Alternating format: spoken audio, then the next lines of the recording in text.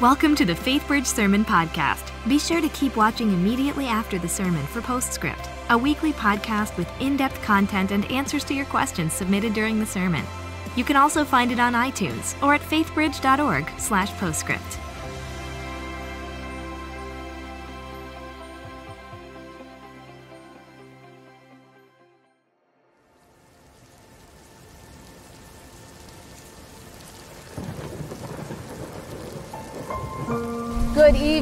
Eye wall of Hurricane Harvey has started to make landfall here on the Texas coast. Already in Corpus Christi, Texas, more than 30,000 people are without power, and things are only expected to get worse. Breaking news Hurricane Harvey barreling into the Texas coastline as a Category 4 storm with 130 mile an hour winds. It's the first Category 4 storm to hit the U.S. in over a decade. About 12 months ago, uh, life changed for a lot of people. I got a phone call. I was the coordinator for Helping Hands. We got the phone call that the storms were coming and we might need to prepare. And over the course of 48 hours, life unfolded pretty drastically for the entire community. When the weather forecasts started coming in and we're watching that, um, I don't think you know we were too worried or too concerned. You know, we watched it, you know, with some cautiously. And uh, then s- Sunday morning, uh, we noticed that there was like water up in the street already. And then slowly you just like start seeing like water kind of seeping from the sides of the walls and, and, you know all of a sudden your carpet's like covered with water and you're trudging through water and then all of a sudden you start smelling stuff in your house that you know is not natural. Sunday morning, the weekend of the storm, we're not really thinking that in 24 hours from then, we're gonna be leaving out our window. You know, I'm trying to like hold it together a little bit when we're like starting to flag down a boat to come get us out of our house, right? in disbelief. I, I think we uh, were walking through it, putting one foot in front of the other, not really comprehending the magnitude of what's going on, and uh, seeing so many people uh, being on the corner here, watching boats and people and floats and and uh, air mattresses going by with what belongings they could take. Over the first 24 hours uh, after the storm, we were able to mobilize teams and prepare food, make sure people had a home, a, a safe shelter. Uh, the church opened the doors, and it was like a floodgate. There was emotional care that was needed, there was physical care for some, uh, there was structural care for their homes. Like that first Sunday uh, after the flood, and we had a, the service, and um, uh, you know, Pastor Ken, you know, asked people who were uh, victims or sur- survivors, you know, to stand. Well, you know, the service that we were in, even though there were maybe, I don't know, maybe 600 people at the service, there were maybe 20, 30 people stood up.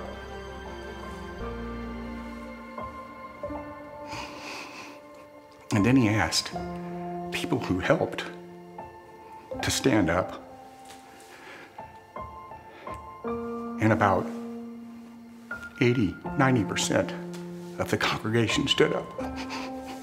And it was just overwhelming because that's what we had been seeing all week.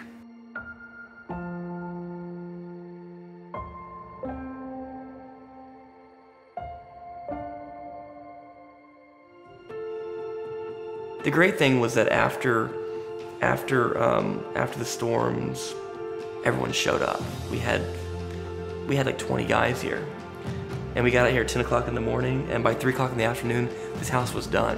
you know, once the demo started, it was just community, I would say. You know, people coming in repeatedly. And I mean, even that first day, people started showing up.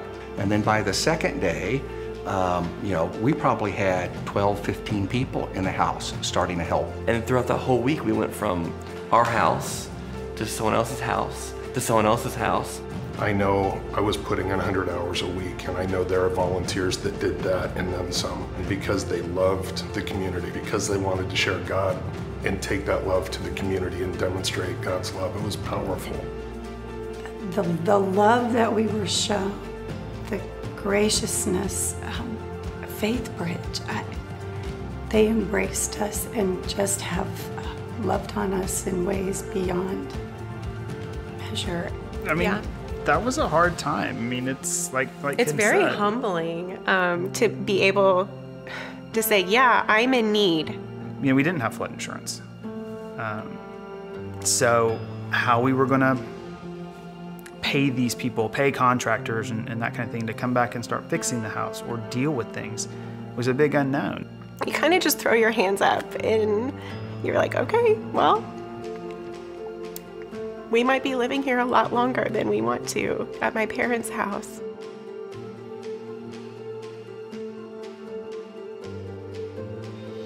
to actually experience all the love that is directed at you, which I can't remember the last time I felt like that. I mean, there was just, there was a sense of caring for one another, for strangers. I think there was a, a greater need to be a human being than to be selfish during Harvey. Uh, I mean, I wish Harvey would have never happened. I wish we would have never gotten flooded. But all of the good things that have come out of this, the blessings, uh, the gifts, the, you know, just, you know, all the help, you know, and just totally eclipsed, you know, the bad part of the flood. The love that we saw there and the way it grew our faith and the building on friendships and community and, and that was that was huge and i can't look back on that and say well 2017 was a terrible year when all of that good came from that as much bad has happened but when all of that good came from that i wouldn't look back on that and say that was a bad year i think that was a year that we grew and a year that our relationships grew and a year that we saw god move in a magnificent way that we won't ever forget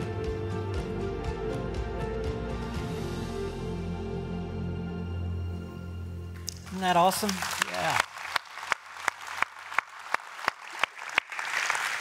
Well, good morning and welcome to Faith Bridge. We are continuing on our path to purpose. A look at the life of Abraham in the book of Genesis. Our ushers are coming down the aisle. If you need a Bible, just raise your hand. They'll be glad to give you one. That can be yours to keep. If you want to go ahead and uh, turn, we're going to be in Genesis chapter 13. We started the series uh, looking at the call of Abram. He lived in an area known as the Ur of the Chaldees, modern day Iraq, and God called him out of that land and told him, Go west, young man, to a land that I will show you. And in faith and in obedience, he went. And then last week, Pastor Ken talked about how, for a time, uh, Abram and his family took a slight detour during a season of famine and went down into Egypt. Things didn't go so well there. Some lessons were learned. And this week we pick up as Abram and his family are coming back out of Egypt and into the land that God had promised. We're going to begin reading in Genesis 13, verse 1. So Abram went up from Egypt to the Negev with his wife and everything he had, and Lot went with him. Abram had become very wealthy in livestock and in silver and gold. From the Negev, he went from place to place until he came to Bethel, to the place between Bethel and Ai, where his tent had been earlier and where he had first built an altar.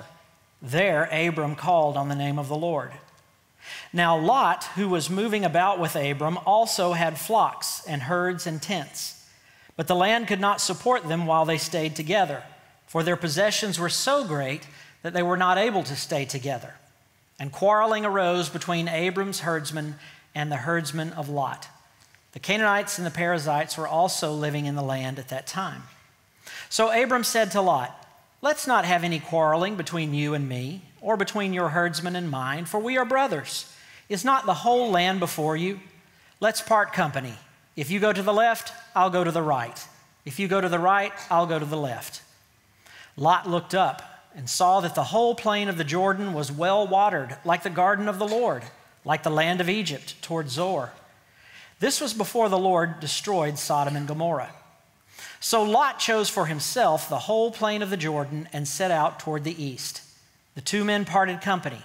Abram lived in the land of Canaan, while Lot lived among the cities of the plain and pitched his tents near Sodom. Now the men of Sodom were wicked and were sinning greatly against the Lord. The Lord said to Abram after Lot had parted from him, Lift up your eyes from where you are and look north and south and east and west. All the land that you see, I will give to you and your offspring forever. I will make your offspring like the dust of the earth, so that if anyone could count the dust, then your offspring could be counted. Go, walk through the length and breadth of the land, for I am giving it to you. So Abram moved his tents and went to live near the great trees of Mamre at Hebron, where he built an altar to the Lord. Let's pray together.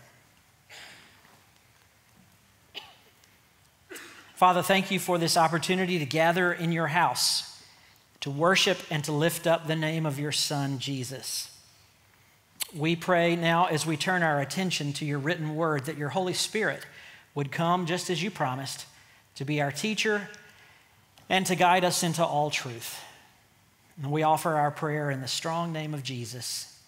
Amen. When I was 19 years old, I graduated from trade school and went out and got my first real job making a real salary. I started out at the whopping salary of $7.50 an hour. I was stunned. I never made that much money in my life. I was finally rolling in it. And despite the fact that I had been brought up by my parents to uh, consider things like generosity and serving others and being thoughtful of others, when I suddenly found myself awash in all of this cash, those values were the furthest thing from my mind. Because I was focused on one thing and one thing only, and that was a brand new pickup truck. It would be safe to say that I became obsessed with the notion of getting a new pickup truck. I mean, I had the worst case of new car fever. I, I, it was visceral. I, I could feel it in my gut how badly I wanted to have this truck. And I can remember leaving work in the car that I already owned, which was perfectly fine and paid for, and driving by the car lot and just looking at that truck. And sometimes turning around and driving back by to look at it again. And as I felt the visceral desire to have the truck and I, and I looked on it with such longing, I began to imagine myself driving it and how incredibly cool I would look and feel driving this new truck. I mean, the message would go out to all the land Danny Slagle has made it. He's in a new truck. Now, my folks, uh, you know, did their best to, to slow things down, to offer words of caution. You know, re- remember now, you, have got other financial responsibilities as well, uh, not the least of which is giving back to God and other bills that you have to pay. So let, let's pray about this. Let's, let's think about this. But I'm like, ah, what do you know? I saved up my money, and as soon as I got enough for a down payment, man, I went out and I bought that thing. And it was awesome for about a month. That thing was the biggest piece of junk. It turned out to be a lemon's lemon. I had the worst case of buyer's remorse in the history of the world. So regretted that I had done that. And so regretted that now my hands were tied to this car payment, severely limiting what else I could have done with those resources. I had fallen prey to one of the oldest, most familiar patterns of temptation known to humanity. It is described most clearly in 1 John chapter 2 verse 16 where the apostle John says, "Watch out. There are some things out there that want to get you. The lust of the flesh, the lust of the eyes, and the pride of life. These things are from the world, they are not from God. And they are after you. And I had fallen right into that pattern. The lust of the flesh, my visceral desire to have this truck, the lust of the eyes, my inability to keep from looking at it and looking at it. And then, of course, the pride of life, my vain imagination that I would be so cool and so well thought of driving that truck. I was a textbook case of 1 John 2 16. An old and familiar pattern of temptation. Matter of fact, it is the oldest pattern of temptation in the book. The oldest pattern known to humanity because the very first two human beings, Adam and Eve, fell to this line of temptation. In Genesis chapter 3, verse 6, the serpent is tempting Eve with the fruit of the garden, that which she has been forbidden to eat on pain of death. And the scripture says that she looked at it and saw that it would be good for food, the lust of the flesh, and that it was a delight to the eyes, the lust of the eyes, and that it would be good for making one wise, the pride of life, to be wiser than everyone else. And she partook, and we know what happened thereafter. Perhaps you've heard other preachers say, you know, the devil is not very original, but he is persistent. And he runs the same play over and over and over because he knows that if he can appeal to that fundamental seed of selfishness that resides within each one of us and begin to exploit that and leverage that, that's when he's got us when we become completely self absorbed, when it's all about us. In my whole experience with the truck, that was my primary problem. I was the epitome of selfishness. It was all about me and what I wanted and what I thought was going to be good for me. And what the enemy of our souls is so good at doing is getting our attention hyper focused on something to the point that we cannot see what may be coming down the road. All we can see is what we want in the moment. And this is exactly what happened to Lot. Lot was Abraham's nephew. They had sojourned together from the Ur of the Chaldees and down into Egypt, and now they were coming back to Canaan. Both of them had grown very wealthy to the point that the land could not support all of their herds and flocks. And so Abram did a remarkable thing. They found a high point overlooking the Jordan Valley. And he said to his nephew, Look, we're not going to make it together, so let's do this. Let's part ways. But I'll give you first dibs. If you go to the right, I'll go to the left. If you go to the left, I'll go to the right. To the right, down to the south, was the lower part of the Jordan Valley, which was lush and green. The scripture says it was like the garden of the Lord, it looked like paradise. To the left, up to the north, was the hilly, rocky, arid land of Canaan. It was remarkable that Abram offered that as he did because he certainly didn't owe it to Lot. I mean, he was the superior character in the story, he's the uncle.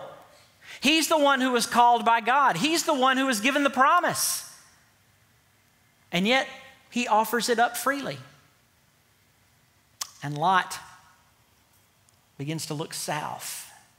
And he sees that lush green valley and he thinks to himself, that's exactly what my herds need. It'll be good for food for them, and then they will be good for food for me. And he looks at it and he gazes at it and he begins to think to himself, oh my goodness, this, this is so beautiful. It's, it's practically like paradise. I can hardly take my eyes off of it. And don't you know, that would be the perfect place for me to begin to make a name for myself. I mean, I've sort of been Abram's tag along these many days. It's time for me to step out and, and become a somebody.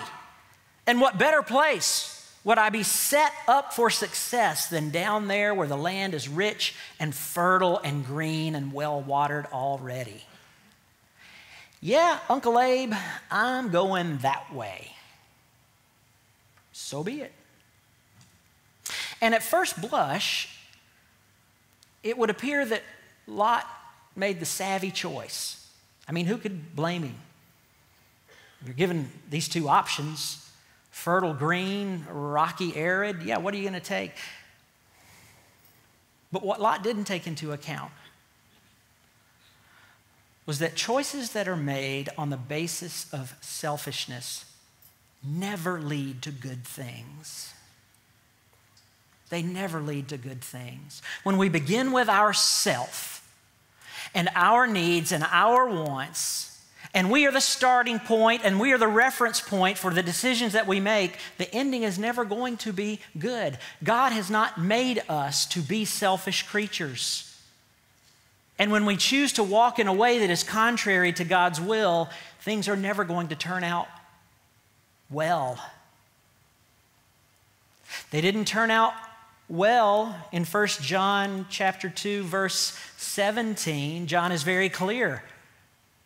The lust of the flesh, the lust of the eyes, the pride of life, they are a part of the world, and this world is passing away. If you put your stock in those things, it's going to be too bad for you. Things certainly didn't turn out well for Adam and Eve. Though they had been warned, they gave in to their selfish desires and found themselves expelled from the garden and doomed to a life of suffering and ultimately death. Things sure didn't turn out well for me either with that stupid truck. And they didn't turn out well for Lot. Because if we read a little further on into Genesis, we see that no sooner had Lot moved down to that preferred land than suddenly he was attacked by warlords, kidnapped. He and his family hauled off and all of their possessions taken. And he moved, of course, into the worst possible neighborhood it was already well known that Sodom and Gomorrah were the two most wicked cities in the world, but he turned a blind eye to that fact because it was all about him. And yet, a day came that God pronounced judgment on those cities. And when he began to rain down judgment on them, as Lot and his family were running away, his wife just couldn't bring herself to leave, and she died. His selfishness yielded horrible, horrible consequences. They always do. You can write it down. If my starting point is me and what's best for me, and if I'm always looking out for number one, sooner or later, things are not going to go well. I remember some years ago, uh, a fella came to see me who was in the throes of this threefold pattern of temptation. From the outside, he seemed to have the world by the tail. Everything looked pretty good on the outside. But scratch the surface and it wasn't so great. His primary complaint was uh, the situation at home. I said, Well, tell me about it. What's, what's, what's going on? And he said, Well, you know, the spark just isn't there anymore. And the kids, it just seems like they always want something of me. You know, really, uh, Pastor Dan, home just seems like a lot of work. I thought, well, marriage is work, parenting is work. What were you expecting, you know? Ah, he wasn't happy with that and said, oh, but I'll tell you the one shining spot in my life. That, that is at my real work, at my job. Oh, things are just taking off there. I am achieving every day. I am setting new records. Uh, people are telling me constantly I've got such an amazing future with this company that I'm going places, I'm making more and more money. You know, I'm, I'm getting lots of strokes there, but when I go home, I don't get anything but a hassle. That's what I wanted to do.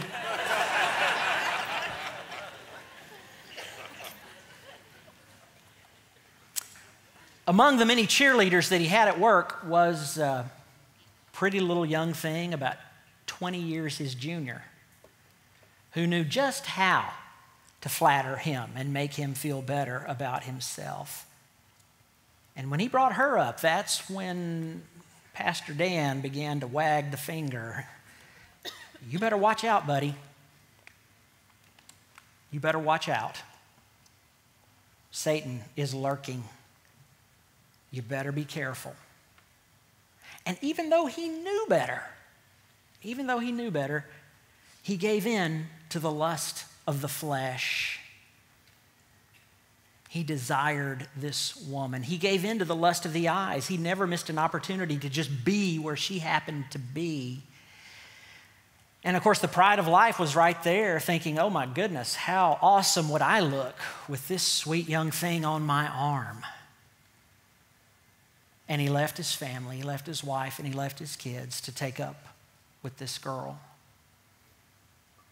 What he didn't take into account was that one day, uh, the little trophy girlfriend just might go looking for her own trophy boyfriend, which she did, and decided she was tired of this old guy, ready for some real companionship. And when he tried to go back home to make things right, the door was shut. And those relationships were gone. Looking after number one never works. It may not happen tomorrow, it may not happen next year, but at some point in time, if we're putting ourselves first, there is going to be a price to pay. Now, contrast that approach to life, which begins with me, to the life of Abram, who, though not a perfect man by any stretch, was a selfless man and a generous man, and a man who was willing to serve his nephew. Freely, he offers the land. You take what you want, and I'll take what's left.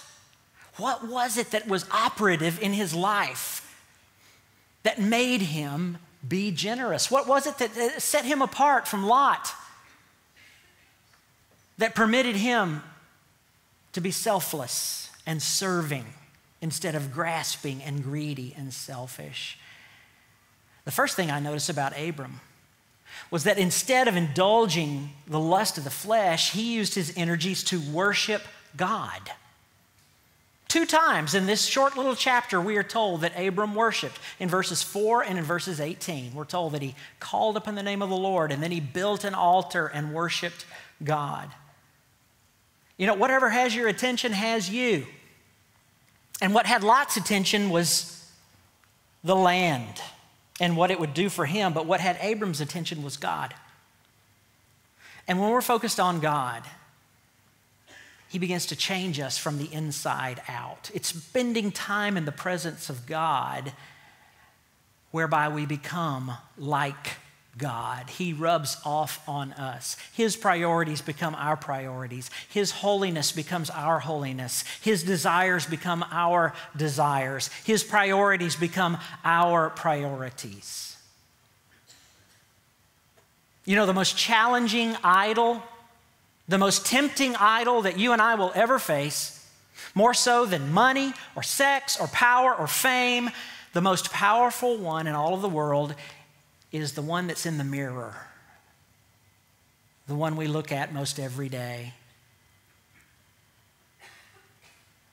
Looking after ourselves is our priority in life. And it's only by the grace of God as we submit to Him and commit to making Him first, that He's able to turn our attention away from the ever present lure of self.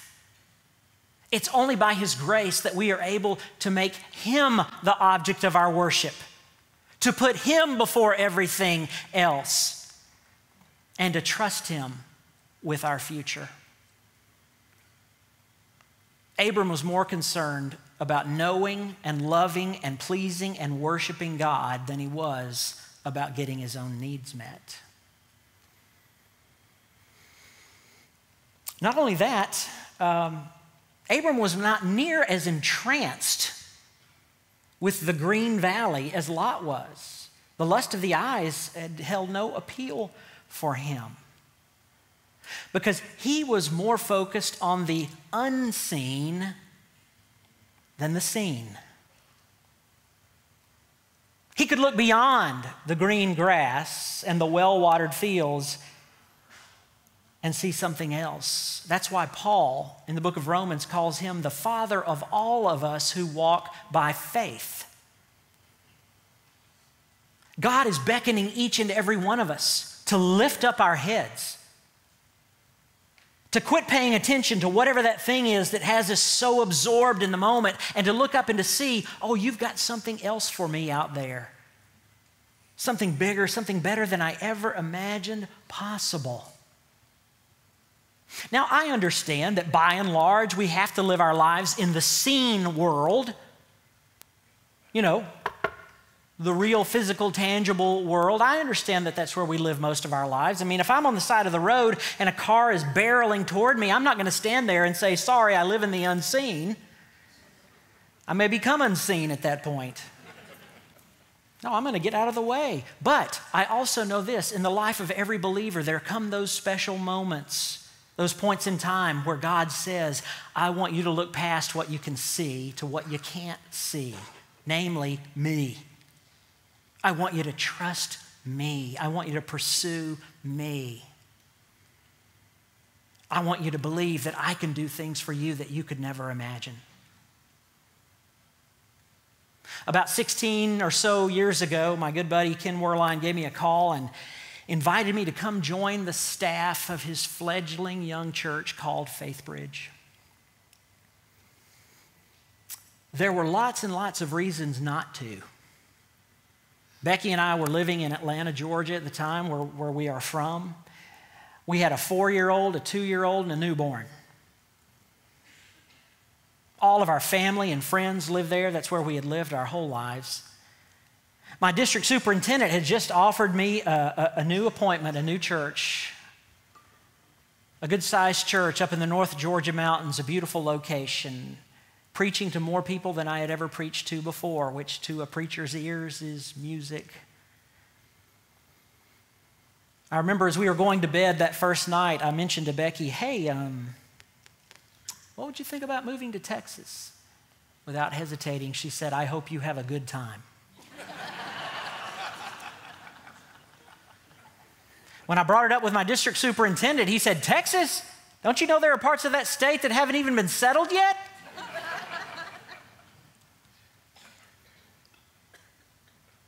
But Becky and I agreed that we would pray about it. And as we began to pray, both of us began to sense that God was calling us to something that we could not see. Oh, all that we could see looked great family, friends, job security. I mean, there, there was certainly no guarantees that all would work out here, that the church would make it, or that Ken and I would be able to work together. Sometimes friendships don't do so well in the workplace. Lots of ifs and maybes and unknowns. But as we prayed it through and talked to God about it, both of us began to just sense with every passing month no, I'm calling you to something that you can't see, Dan, but you're going to have to trust me.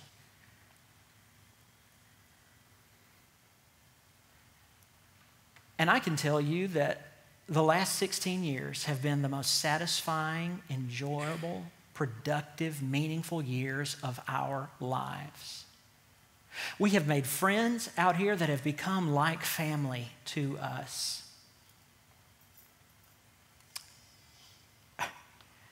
I have preached to more people here and around the globe in the last 16 years than I would have in a lifetime back in Georgia.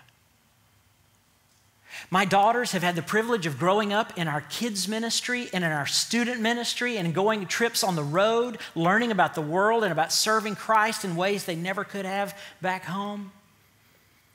No, God has done far beyond what I could have possibly thought or imagined as we chose to focus on the unseen instead of the seen.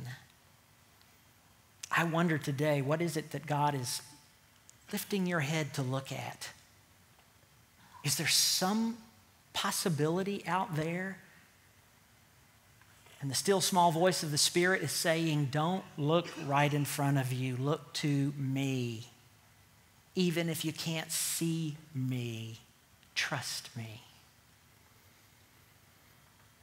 So Abram did not give in to the lust of the flesh or the lust of the eyes. And, you know, the pride of life was really not an issue for him. Now, I can see how it would have been an issue for Lot. I, I, I, can understand that. He had been playing second fiddle to Abram all these years. And he was ready to step out on his own and make a name for himself. But I also notice that when Abram made the offer, there was no hesitation. There wasn't even the courtesy of stepping back and saying, Oh, no, no, no, no, no. Uncle Abe, I could never do that. No, he was like, Yeah, got it, going. It was all about him. But Abram uh, understood something that Lot did not. You see, when the, when the focus of our lives is on the pride of life, on making it all about us, what we don't take into account is that moving forward, everything then is up to us. Win or lose, succeed or fail, whatever the outcome may be, it's up to us when we're hanging our hat on pride.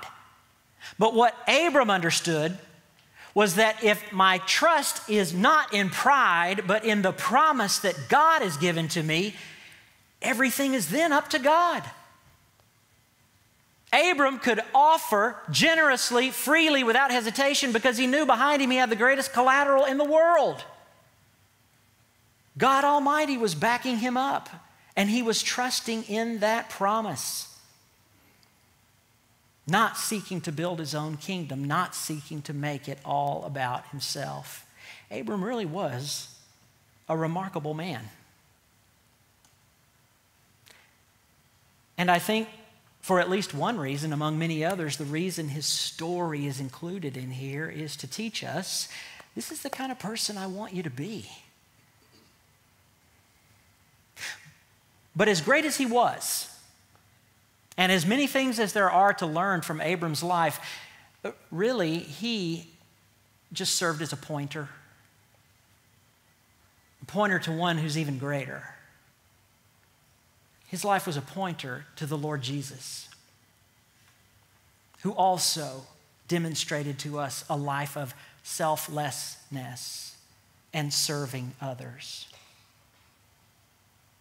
You see, every single one of us Every single one of us, every person who's ever lived, at some point in time has said to God, No thanks.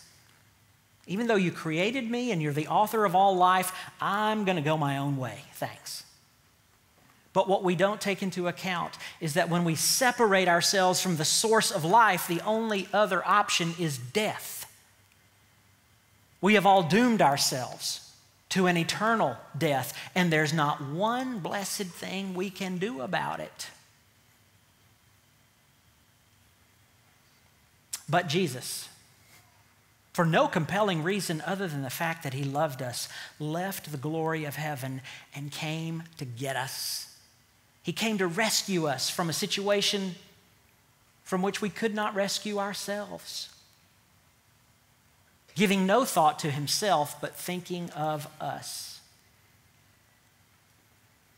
And on the last night of his earthly life, he found himself in a garden.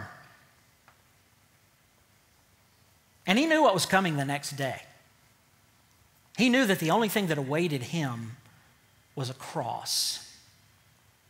And there was nothing about that cross that was appealing to his flesh. And he certainly didn't relish the idea of looking at it. Nor is there anything to be proud of about hanging, dying naked in the Palestinian sun on a cross. All of these things were passing through Jesus' mind. He knew what was coming. And the temptation was there. Look after yourself, look after your own skin, look after yourself. You don't owe these people anything. They're the ones who got themselves into this pickle. You owe them nothing. Save yourself.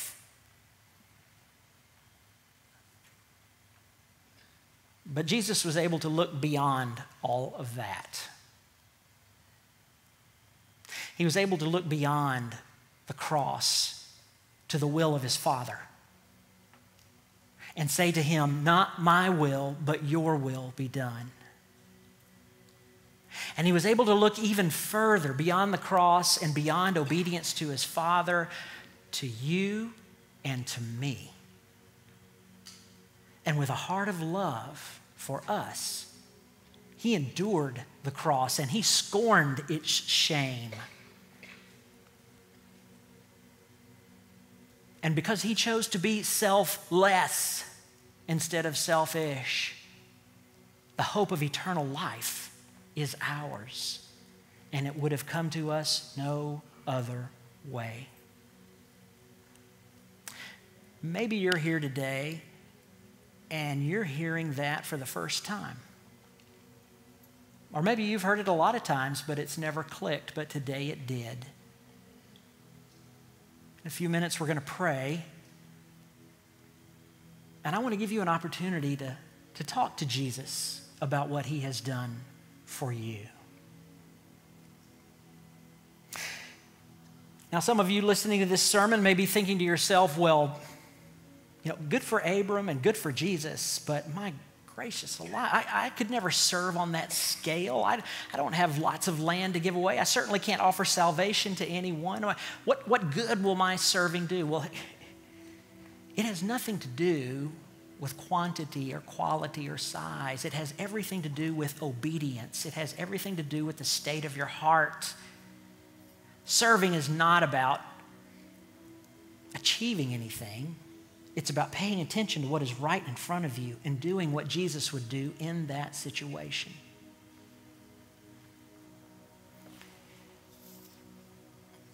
In your bulletin, you should find a slim little card like this. If, if you would, please take that out.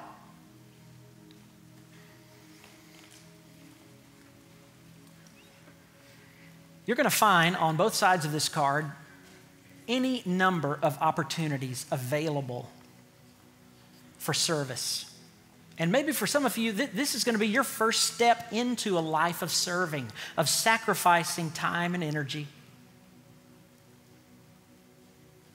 to give to somebody else. And they range all the way from our parking ministry, which keeps us safe getting in and out of here, to the grounds ministry, which keeps the place looking so beautiful, to our hospitality team, which makes sure that we have coffee and donuts every week. And on the back, um, you know, our kids in student ministry are always in need of adults. They're always in need because those ministries are so successful. They're growing by leaps and bounds, and kids need adults in their lives who will give of their time and experience and love to help them along the way. I'm going to give us a few minutes to look this over and if you would, as you're looking it over and considering, um, I want you to write your name and your contact information. Now, let me explain this, this is not a commitment card, this is an expressing interest card. And as you leave, you'll be dropping it in a basket at the door, and we'll be in touch with you about your interest. But if you have questions about what these involve, in the East Atrium, we have tables set up and individuals there representing each and every ministry who can answer all of your questions and tell you all about what those ministries do on campus and off campus. Those of you that are in Center Court West, when the service is over, make your way past party on the patio and come on over to the East Atrium. This is an opportunity for us, in a very small way, really, to say to the Lord Jesus, uh, it, it's not going to be just about me.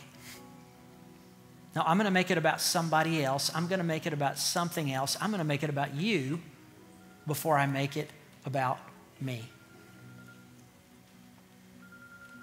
We're going to take a minute and pray as you finish these, and um, then we'll be dismissed. But I do hope you'll give some serious, prayerful consideration to how you might be a servant. Let's pray together. Father, thank you that when we were at our most desperate, you were not selfish. But in the greatest selfless act in history, you came after us. Your son Jesus came for us. And if you were one of those people who heard that story of Jesus and you're feeling the tug of the Spirit on your heart, I want to invite you now to open your heart wide and let Him in. He wants to love you and forgive you and continue to serve you. And for those of us who know Jesus, this is another opportunity to walk in his steps and be his disciple, to serve others, and to serve our world, which desperately needs to hear from Jesus. Thank you, God, for raising up Faithbridge and for making Faithbridge a kind of church where we don't sit and wonder and wait, but we get up and we do because that's what you've called us to do. We offer our prayer in the strong name of Jesus. Amen and amen. Go in peace. May God bless you as you go forth to serve. Welcome to Postscript. Here we hope to answer your questions and help you dig deeper into the messages and sermons at FaithBridge by talking with the teacher of the day.